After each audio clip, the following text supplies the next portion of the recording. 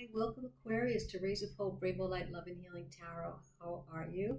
Hope you're well. If you haven't subscribed yet and you've returned, thank you so much. And uh, if you haven't subscribed, please do. And those of you who are new, so am I. So be awesome if you can help me build my channel. Please check out my description box. It'll tell you all about me.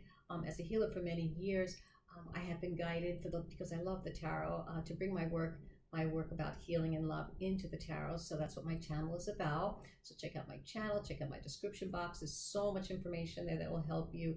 Uh, so many links on the energy field, the chakras, on Reiki, 30 free ebooks, and much, much more. And it's all free. So check it out. And today is July 4th. Oh my God, I can't believe six months of the year have gone by already. Um, we are celebrating here in Florida. It's going to be a wonderful, wonderful celebration. Hope you're safe and having a good time as well in your freedom. Yes, we are so lucky. So, I don't know what's going on with you, but know that, you know, um, this question's about twin flames. You know that your real twin flame, um, Aquarius, is really on a spiritual level. On a spiritual level, your real twin flame on the spiritual plane is your higher self. They are always with you. They are always forever. Okay, that is your real twin flame.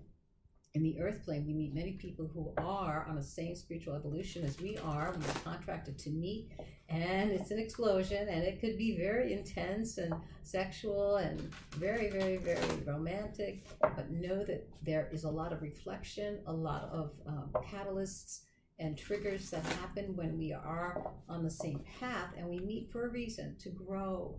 Yes, to grow. So look at anything that happens in this relationship as a growth, okay? Welcome it, see it as a gift because it's happening for you, not to you, okay?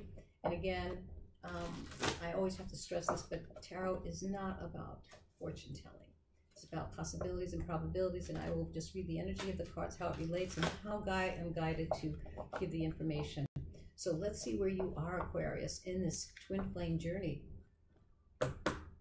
for Aquarius. What is the energy um, surrounding this reading for Aquarius?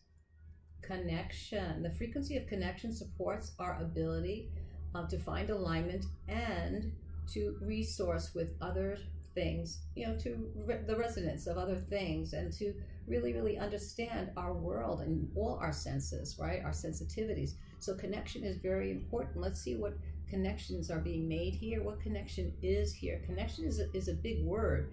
It's, a, it's about how you connect. Are you open? Uh, are you receptive to other people? You know, and that's how we learn. So let's see where you are in the phases of love, in this connection, if you are in one, or if you're manifesting one, or if one has ended or ending, or moving on to another level. Let's see where you are Aquarius today in the now cycle. Infatuated love, infatuation. Wow. So know that um, you know whether you're falling, you know, fast or it's it's just you know a moment or a day or a year or a month. Enjoy it. Um, it could be an obsession, but the most important thing is to stay grounded. All right so make sure this connection that you have here is exactly what is real to you. And we won't find out until we connect, right?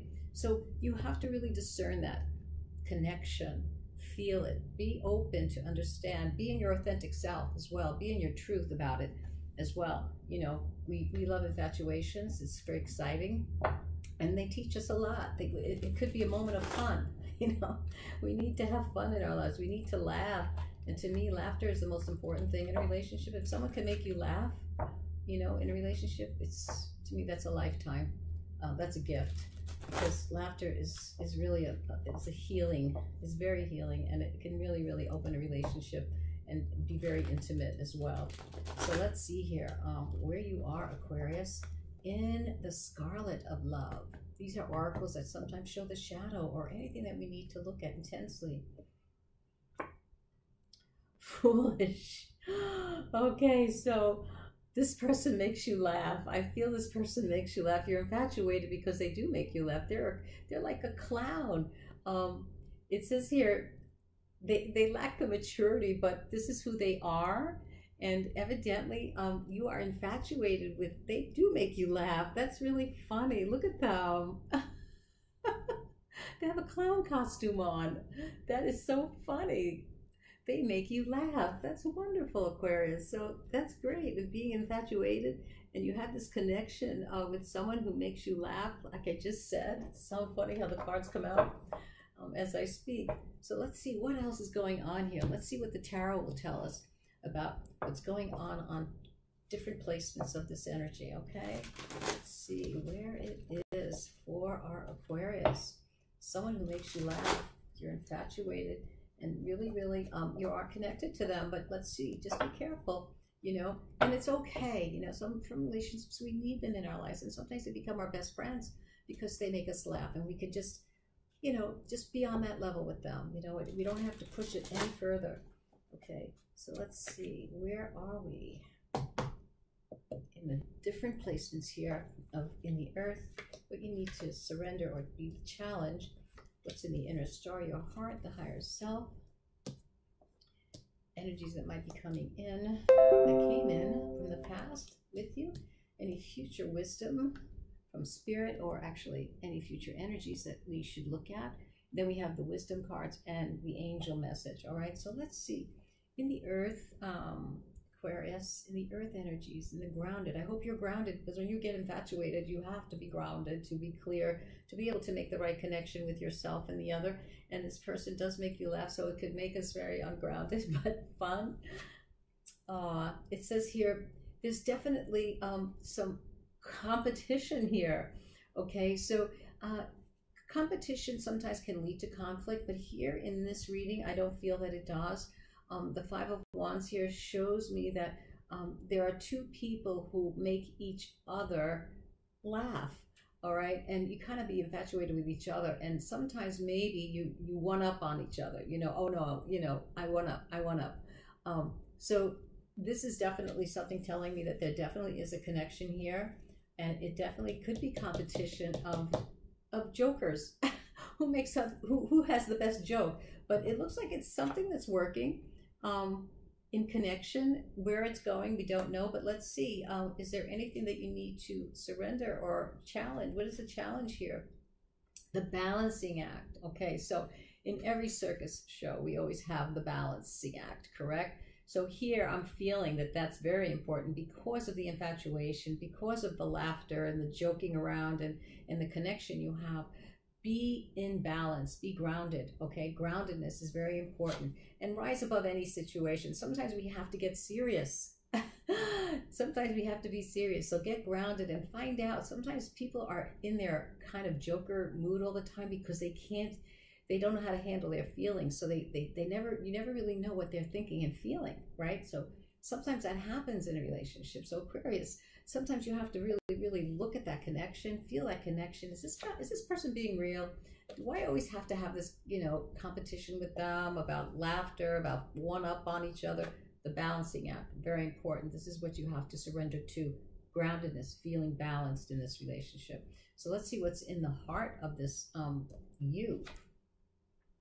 Ah, the high priestess. So the hidden knowledge. So you are definitely deep in your heart discerning about this. This is a connection. You're you're having on one level on one level of your conscious mind and your heart. It's good. And on another level you say well what is this? You know what am i doing with this? Where am i going with this? Is it going to go anywhere? Um, but see this the hands together? To me you are together in some way. You do have a connection. But if it's just you know not everything that you want you will find out you know you don't have to push it away it'll just happen. Just keep feeling exactly you know where you are with it all the time so that you can make the right decisions. And what is your higher self energies telling us here? The seven of pentacles reevaluation. So your higher self is saying yes reevaluate it and that's where you are you are definitely definitely doing that work. You are the goddess. Maybe you're using the moon cycles as well to help you but know that um, you are definitely in your heart um, definitely discerning all this connection that you have here and whether it's real or not and whether it's enough and whether it's is it foolish? Is it too foolish? Are you with a child who's too immature? Maybe they are and um, your higher self is saying reevaluate. Maybe you're looking um, you know, you should look further into something more than this, you know, because the sevens is about looking to reseed and to reevaluate, to maybe grow something more, uh, something better. Um, and maybe for now this is okay, but they're saying, your higher self is saying, keep reevaluating, okay? So let's see here. Uh, any past energies that came in here was the divine feminine, the empress. Yeah, so, you know, the divine empress is about self nurturing. It's about someone who's very, very empathic, someone sensitive, very loving, uh, abundance, abundance. And perhaps this is also a card that could also mean that you were self nurturing yourself uh, during this time before you met this person.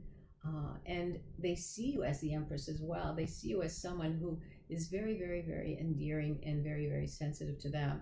So keep the Empress for yourself as well. The nurturing qualities of the Empress, Empress is about self-love, you know, and people can feel that from from you, Aquarius. So the past energies, self-nurturing, are in here, but know that they're also not just for for for um, how can I say um, they're an energy that that expands to others as well. So I feel that this energy here has come into this relationship that has brought this infatuation.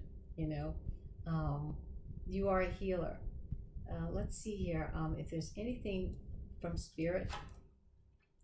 And they have the Queen of Swords. Okay, so I have here, this is a, a kind of a message of spirit saying that to be clear, really, really be clear and real. Be authentic because the Queen of Swords only wants the real thing always. She can see through, you know, anything that's not real. So this is the guidance from Spirit saying the Queen of Swords energy is something you need to look at. As the Empress, yes, wonderful. You are an Empress. You have that Empress energy. But sometimes you have to be more grounded, you know, and be in alignment and know what's real and what's not real. And this infatuation is fine for now, but your higher self is saying to pre keep reevaluating this. Okay, so keep reevaluating. Let's see what um, the future self wisdom card oracle. Well, this is a wisdom. I call it the wisdom message. You know, because it's about the future self. It's about the energies that are going on here in this reading. That um, really, really, they're very, very um, powerful affirmations uh, from these cards here. They, I call them the wisdom card, okay? It's the future self message for anything that's going on here. And then we have a message from the angels. So let's see what we can um, resolve here in any way for you, Aquarius. Let's do this one more time here. Nice and tight. This is, wow, 108 cards. here we go. So, the wisdom message for you in this reading of reevaluation. You're going to make mistakes, and it's okay. Sometimes you learn by messing up. So, as I said, as Spirit has said, your higher self, reevaluate. Okay, be sharp and assertive and clear. And it's okay to have fun, but keep reevaluating and know exactly what it is that you want. Okay, so let's see what the angels have to say in this message for you, Aquarius. Let's see what they're going to say for you um, to finalize your message of the twin flame journey reading for you. Let's see what they have to say. One more time, and let's see. For you, Aquarius. It says here, have faith. Have faith, Aquarius. Okay, have faith. Um, trust your your faith and your inner guidance in your situation. Okay, so have faith in it. I hope you enjoyed your reading. Um, wishing you the best. Have a wonderful weekend. Be safe. Bye bye now.